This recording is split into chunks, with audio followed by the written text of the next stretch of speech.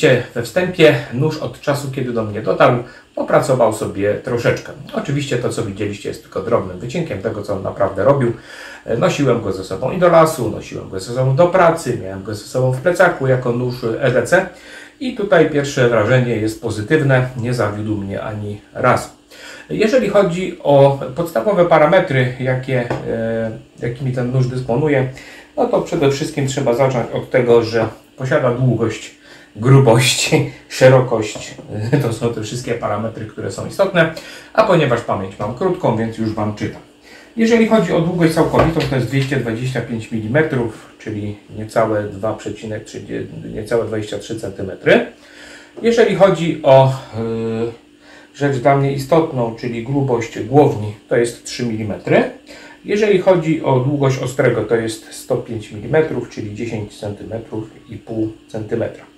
Nóż y, w ręce kanapowego komandosa prezentuje się tak. Prezentuje się tak.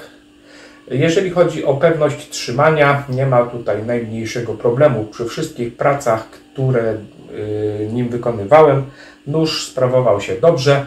Czy łapa śliska, tak jak w tym momencie, czy słucha, nie wylatywał z ręki. E, z jednej strony, jak rozmawiałem z rolnikiem, czyli twórcą noża, e, pytałem się, czy e, nie warto by było dać tutaj ząbkowanie, czyli tak zwany jumping, żeby nóż się nie ślizgał. Powiedział, że nie ma takiej potrzeby. Ja osobiście jednak wrzuciłbym tutaj jumping z dwóch powodów. Przede wszystkim nóż ma dość ostre krawędzie tutaj na grzbiecie, dlatego żeby fajnie się nim krzesało. No ale to powoduje taki drobny niepokój. Nie powiem, że coś się stało, nigdy się nim nie przeciąłem, nie skaleczyłem, ale tak jak wspominam, taki drobny niepokój, czy coś się tam kiedyś nie stanie, zawsze istnieje. Yy, nie będę też ukrywał, że praca w rękawicach nie jest najmniejszym problemem, mimo tego, że łapę mam dość dużą, yy, jeżeli chodzi o rękawice wojskowe, kupuję zawsze rozmiar XL albo 2XL, to jednak pracuje się nim komfortowo. Stal, z której wykonany jest ten nóż, to jest NC4 od Melona.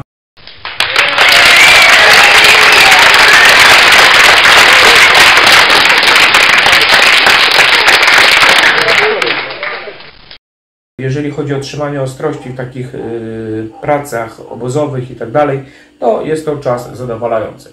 Y, zawsze mam też ze sobą ostrzałkę, staram się, y, kiedy trzeba podostrzyć.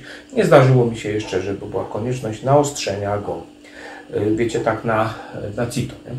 Co prawda nie bawiłem się w testy typu Cobra, czyli nie otwierałem nim puszki, chociaż może pokusimy się za chwilę, zobaczymy jak na końcu da sobie radę z otwieraniem puszki i potem ścięciem kartki ale generalnie nie zawiódł mnie i jak widzieliście na wstępie, spokojnie w pracach obozowych typu krojenie, yy, przygotowanie właściwie posiłku daje sobie absolutnie radę.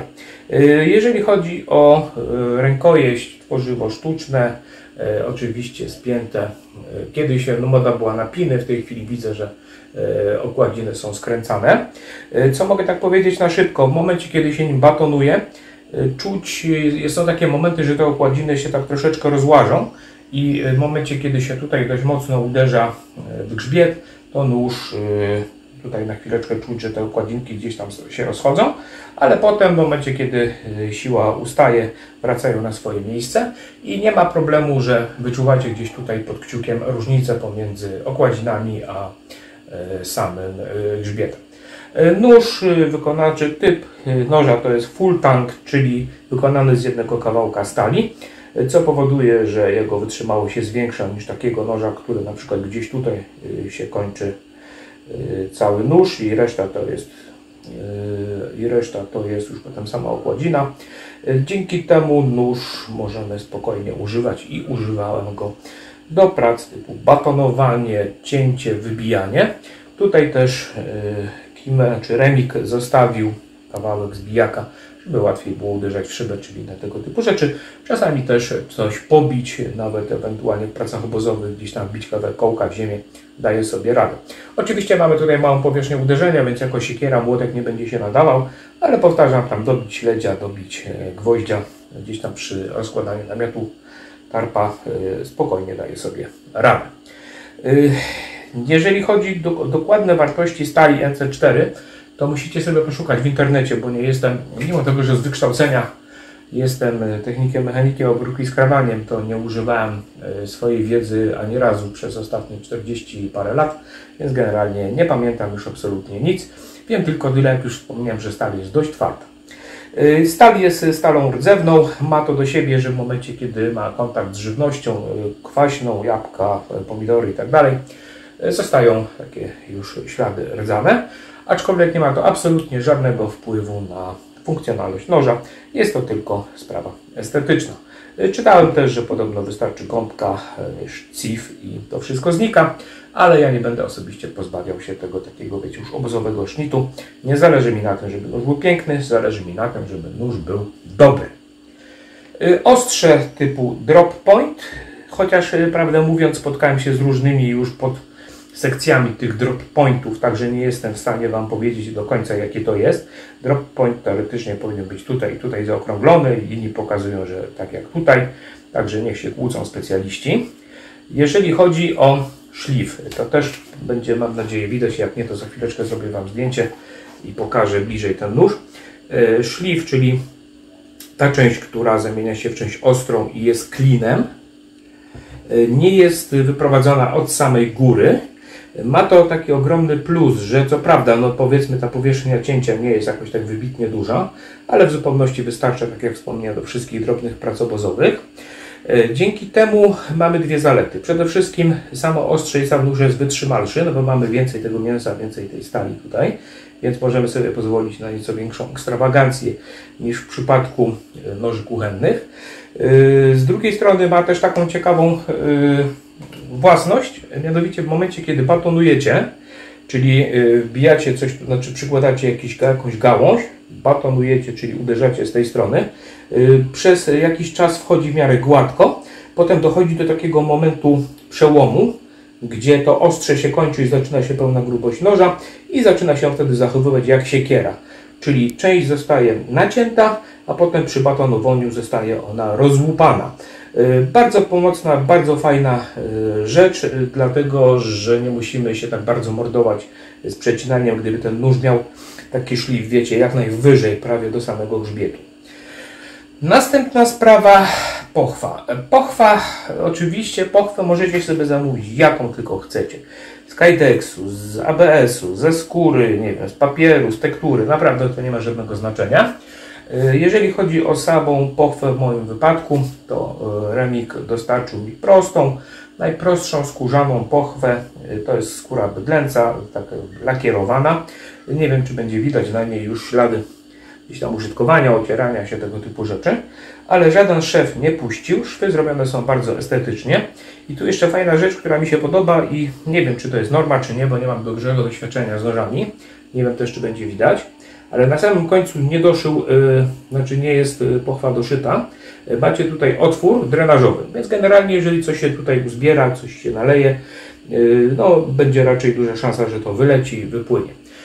Co jest bardzo istotne w momencie, kiedy nie mamy tutaj żadnego zamknięcia od góry, więc no, zawsze coś tutaj się może do środka dostać. Jak widzicie, nóż nie ma absolutnie żadnej blokady. Spróbuję to pokazać może w ten sposób. Także nie trzyma się na zasadzie takiej, że jak będziemy potrząsali, to nóż nam nie wypadnie. Y, ale y, sposób przenoszenia go, czyli tylko i wyłącznie w pionie, w pionie na szlówce, y, powoduje, że nawet jeżeli usiądziemy i gdzieś ten nóż nam się wygnie, nie powinien nam wylecieć. Jeżeli będziemy oczywiście majtali nim tego typu rzeczy, no to wtedy trzeba pamiętać, żeby jednak jakoś postarać się o inną pochwę. Jeżeli chodzi o to, czy dostępne są inne pochwy, to już pytajcie samego Remika, czyli Kimmer Custom Knife'a co on tam może Wam zaoferować.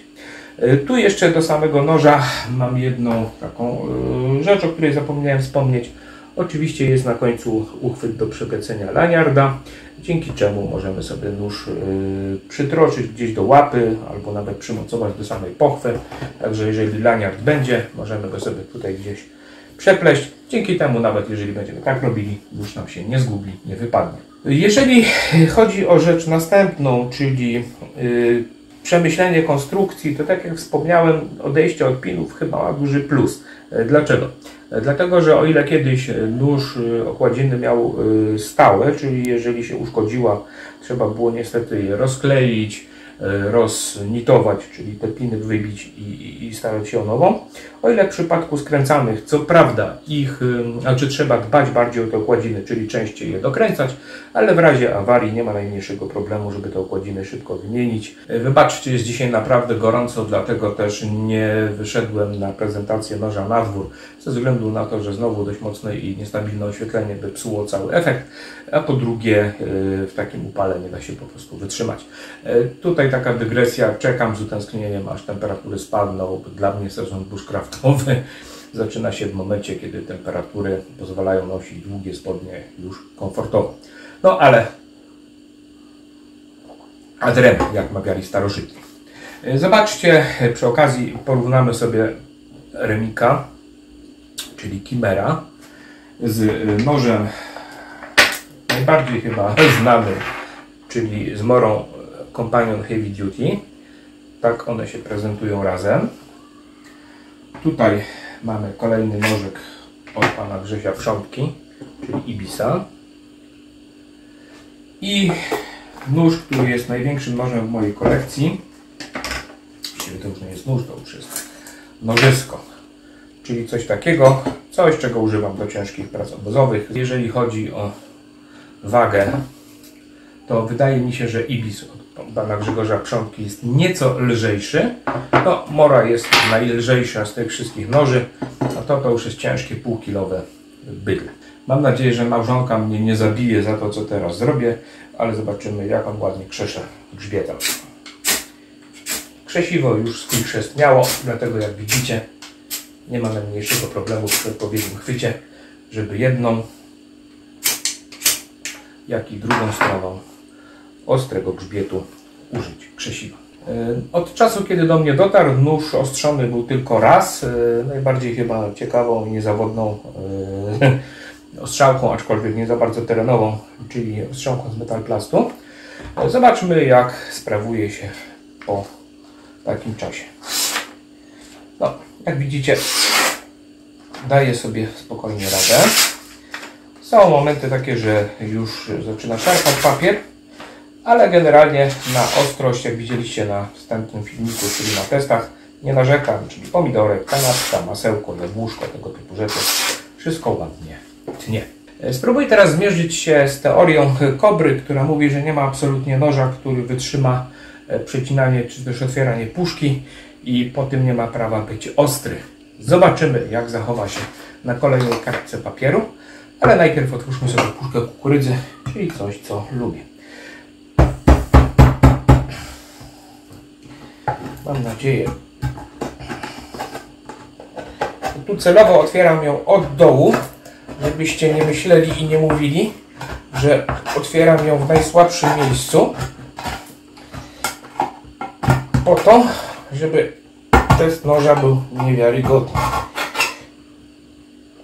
Jest to oczywiście nóż do otwierania czołgów i nie ma też takiej konieczności, żebym w tej chwili otwierał nim jakiegoś Leoparda, Abramsa czy innego ISA trójkę. Ale jak widzicie w miarę szybko i w miarę bezboleśnie poszło mi otworzenie puszeczki. A teraz spróbujemy zrobić eksperyment, czyli bez e, żadnej e, bez żadnego ostrzenia, czy uda się tym nożem tak w miarę dobrze pociąć papier. Oczywiście on nie otwierał cały, więc spróbujemy, znaczy w sensie ostrze nie wchodziło całe, ale spróbujemy.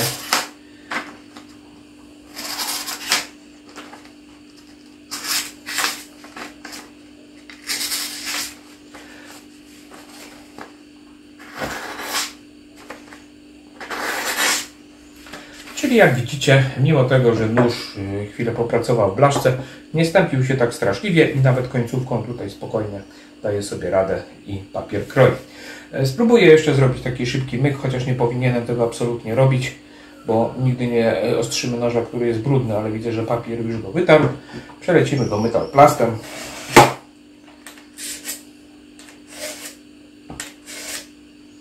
Do podostrzenia 3-4 razy wystarczy. Zobaczę, czy będzie jakaś różnica.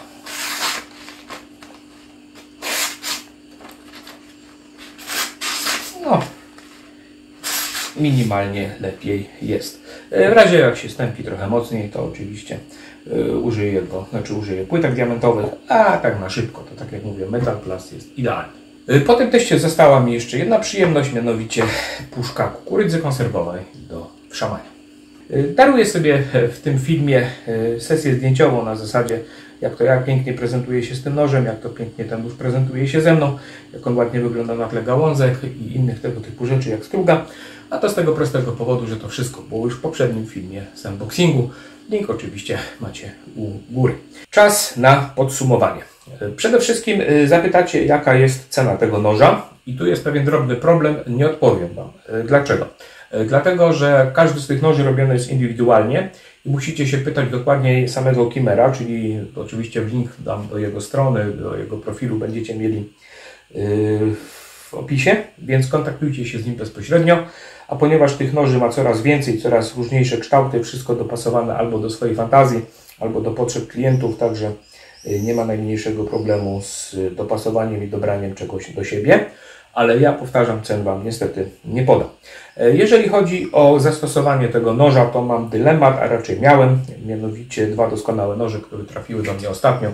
Pierwszym to jest e, właśnie Kimmer, drugim to jest Ibis ugryzie przątki, E, rzucać monetą, który nosić i tak dalej. Nie, stwierdziłem, że Ibis będzie nożem miejskim, czyli będę go nosił plecaku, w razie W oprócz e, foldera, a ten nóż będzie moim nożem leśnym, który nie będzie brał, znaczy ten nóż nie boi się żadnej leśnej pracy, nie za bardzo oczywiście obciążającej, czyli nie będę nim ścinał drzew, ale powtarzam, przygotować sobie posiłek w lesie, zastrugać patyka, rąbać szczapek na podpałkę gdzieś tam do większego ogniska, czy też yy, porobić paliwa do kuchenki bushcraftowej.